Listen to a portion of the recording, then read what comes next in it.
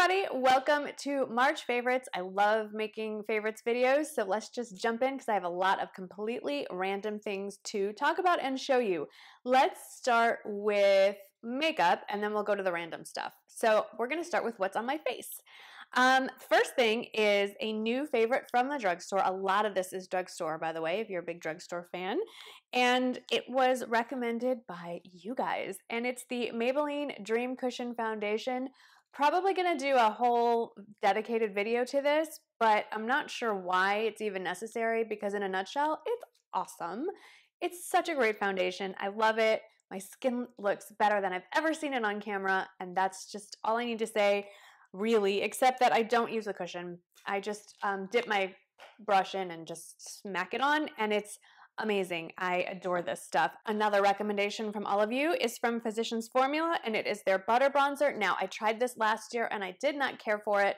I had it in the light shade. I went back and got the deep shade, or I guess it's actually the normal shade, and then there's a light shade. So this is the, the normal or deeper shade. It's so smooth, it's so creamy, it's so blendable.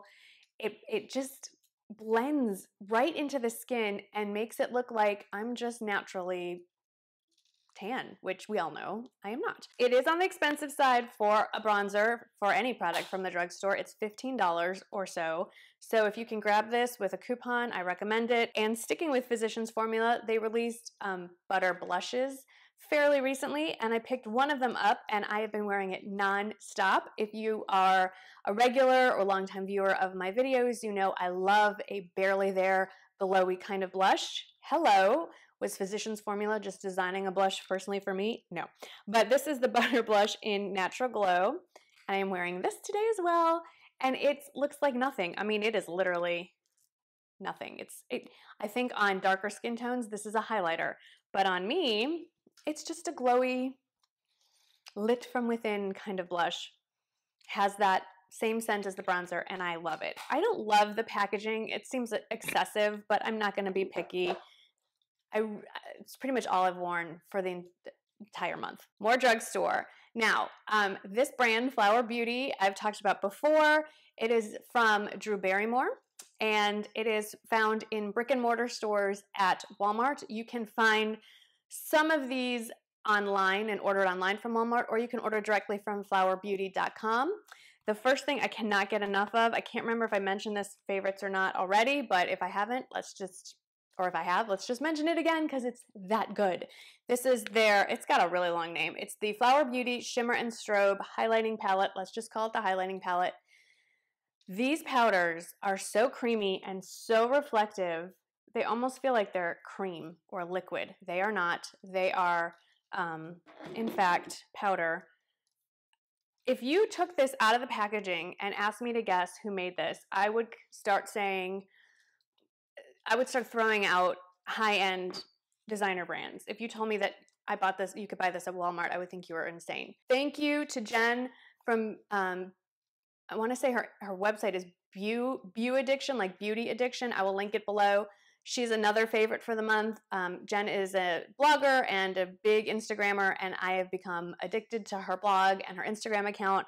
And I should probably just do a video called Jen Made Me Do It because I follow her Instagram religiously and everything she posts i'm like oh i need that. Oh i need that. And this was one of the things she posted as was the butter bronzer and the blush and a few other things. So it's yeah.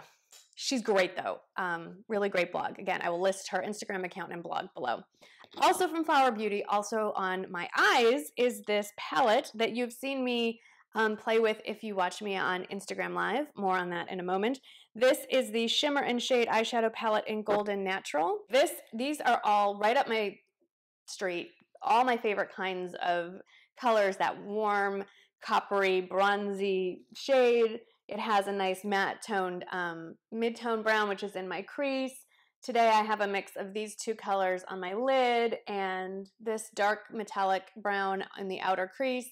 The only thing, oh, and then this very light shade in my inner corner, the only thing this is lacking to make this less than absolutely perfect is a matte or satin tone um, brow bone shade. That's it. Because this was my favorites video, I decided to pile on everything that I love on my face. So as my primer today for my eyeshadow, I used another huge favorite. And if you missed my Get Ready With Me where I demonstrated how to use these, please give this video that video a little love.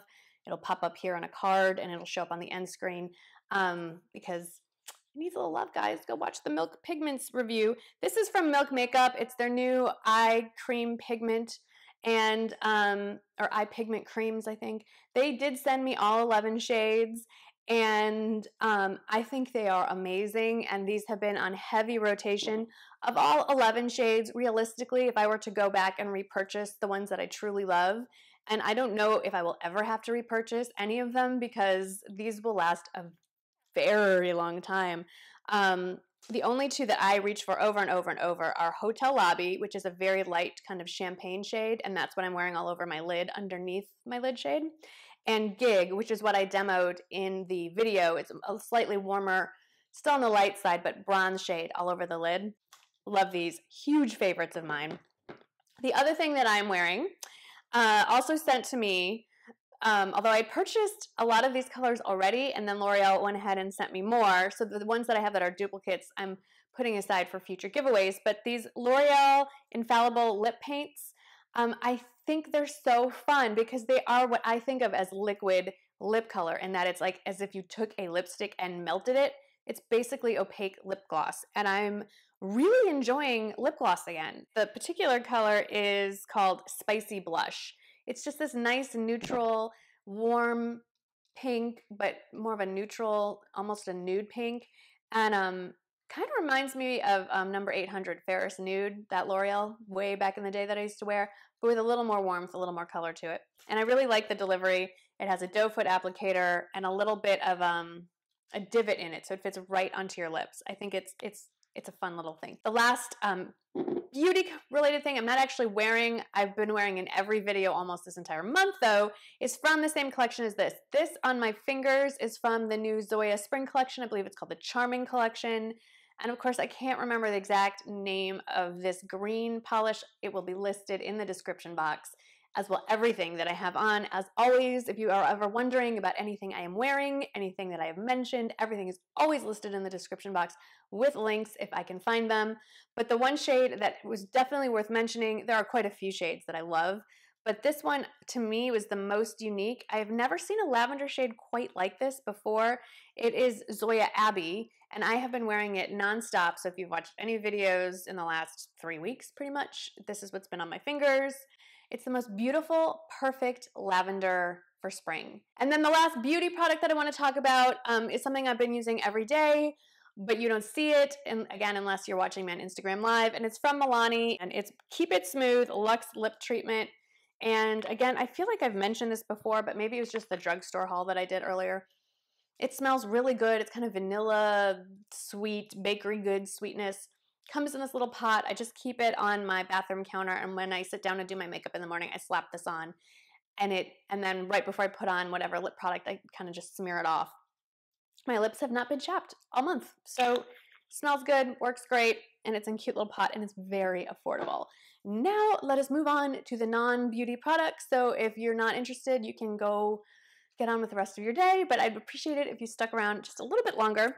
So, um, I keep talking about Instagram Live. I have so much fun with this. If you are not following me on Instagram, you should because there's a core group of you that pop up every time I do an Instagram Live um, event, I guess it is. And basically, what happens is if you're subscribed to me on Instagram and that you have enabled notifications, you will get a notification on your phone that I have started an Instagram live session and it is literally me just chit-chatting with you most of the time in the morning where I am. I'm usually putting on my makeup and we're chatting like girlfriends do. It's we've have we have a lot of fun. So I highly encourage you to come over there and um, and hang out. But um, some things that have come up, and you've asked questions about it, and so I thought, and since I'm wearing it all the time, I might as well bring it over to favorites. Is this robe? And I recently switched over to this robe from my big, warm, fuzzy winter robe because it's in the 80s now, uh, temperature wise. And this is from the brand Nordstrom, and they actually still carry it at Nordstrom. It's a great robe, it's lightweight, it's kind of a kimono style, and what I like about it is that it's long enough that it kind of it comes like mid thigh, just a few inches above the knee on me anyway. I'm five foot four, so it's still modest. I don't like the little shorty robes that barely come under your your bottom.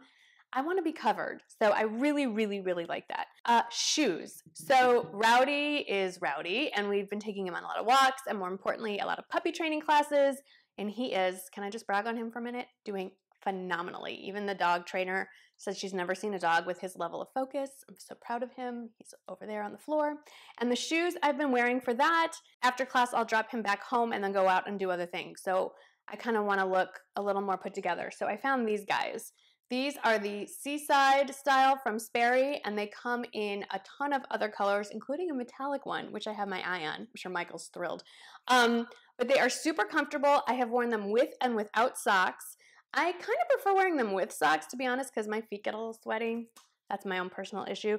But they're very comfortable. I've walked miles in them, and I had to break them in after a couple of days. They were great. The other pair of shoes that I am loving for these warmer temperatures, um, again, my feet get hot when the rest of me don't. I don't know what that's about.